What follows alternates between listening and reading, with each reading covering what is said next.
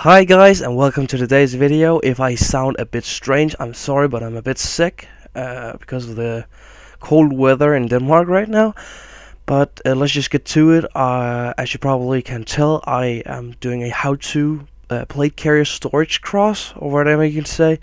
Uh, I'll show you what it looks like on a picture. But um, right now I'll just show you the um, length of the plank that you need to make this or what I decided. You can decide to do it uh, in your own lengths. I decided to make them a bit long so I would have the possibility of putting uh, my boots underneath the plate carrier. But also I will it's just a good thing to you know uh, have more length than less. I don't want my plate carrier to scrape the bottom of the whatever I put it on either. So, uh, but you decide. Also, the uh, the foot itself, whatever you call it, the stand, the base of it, uh, you can decide whether or how long you actually want the planks there.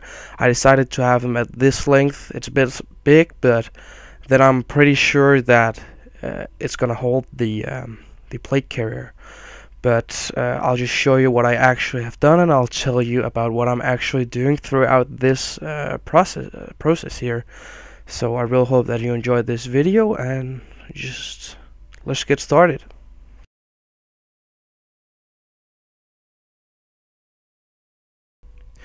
Uh, so first I started out with uh, sawing off the uh, pieces for the foot or the base of it. Um, which I just think is a good place to start it out. So I just used a ruler, a big ruler, and you know, drew it up with a pencil the spots, uh, the marks that I needed to cut for.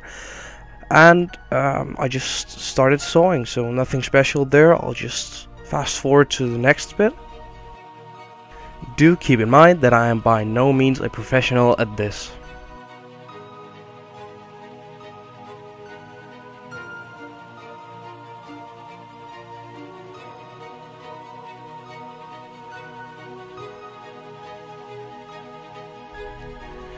So now we are starting to putting the pieces together. I like to have a small piece of the wood that will replicate the thickness of the um, the spine plate, uh, whatever you call it, but you know the vertical one.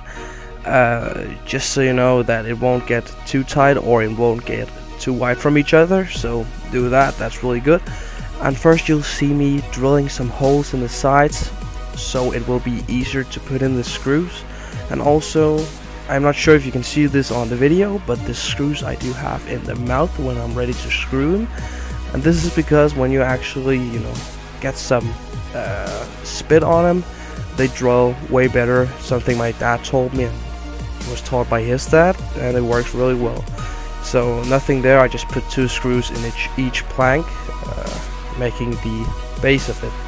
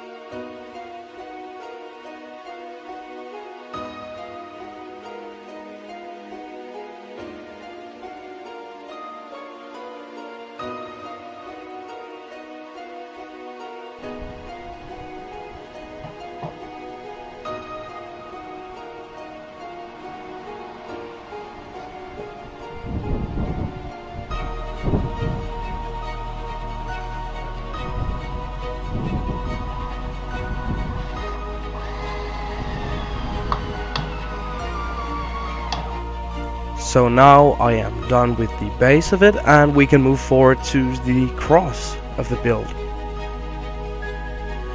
So by now you need to figure out at what uh, length or what height you want the uh, the arms of the cross. So you just need to figure out by yourself um, what length you actually want. Also considering maybe if you want a helmet on it uh, so have the plate carrier out and the helmet or whatever you want to put on the top of it if you want to put anything there just to have an idea you know also you need to test if the pole actually fits into the base of it So what you'll see me now is just measuring out where I need to cut uh, the wood piece so I can put this inside.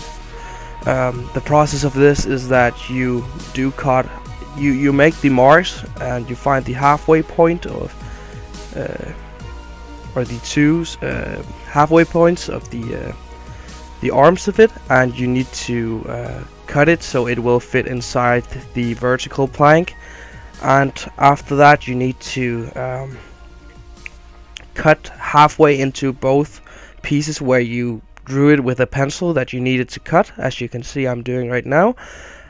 And you'll use uh, I have no idea what the tool is called but it's something that you can hammer into the wood and you can break off pieces of the wood when you have cut down on the sides of it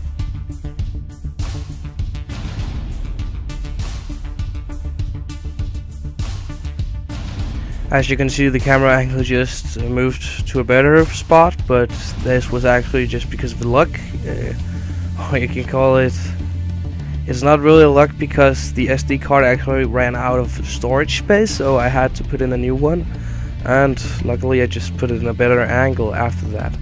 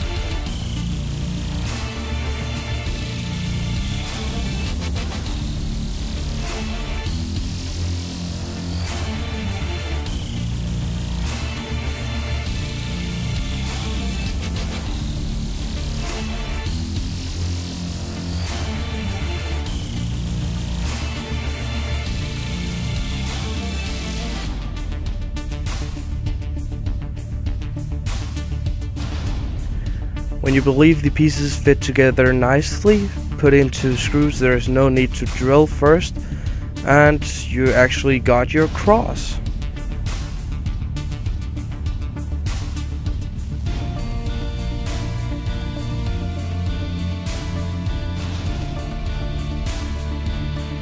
One last thing that you don't need to do, but I did anyways because of safety measures and because I could. It doesn't take that much time, just put in a screw in each side so you so it will hold the actual cross to the base of it uh, which I think will uh, be very beneficial for you uh, if it ever would if you didn't do it and it would ever come loose or something. I can't tell you if it would um, so now you're actually done with the cross and after that I decided to sand it uh, the cross to remove the sharp edges around it and making it a bit more nice. You could also apply some tree oil or something like that, wood oil. I don't know what it's called in English precisely, but translated it's tree or wood oil. Some, you know, you just put on some oil to make it a nice finish. You could also paint it if you want to, but I just want the normal wood uh, look for it.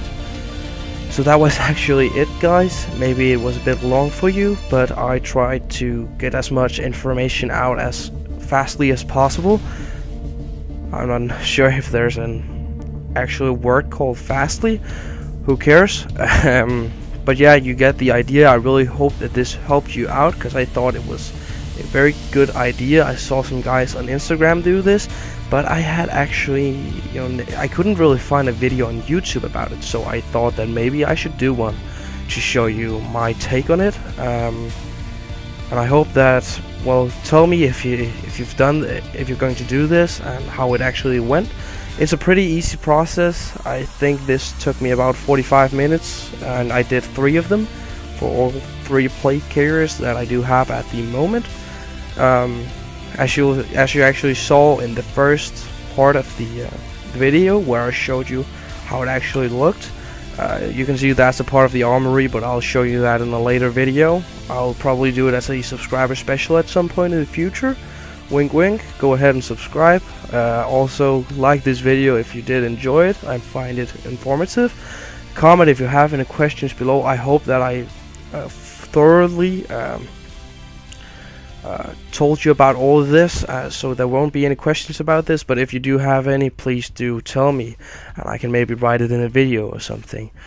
But also, if you have any ideas for my channel, please send me a private message. Remember to share my videos and go ahead and check out my older videos, since I do think that you can find a lot of enjoyment th from those as well. So that was it, guys. Uh, have a nice day, holiday if you still have it. Mine just. Ended, but you know, see you guys.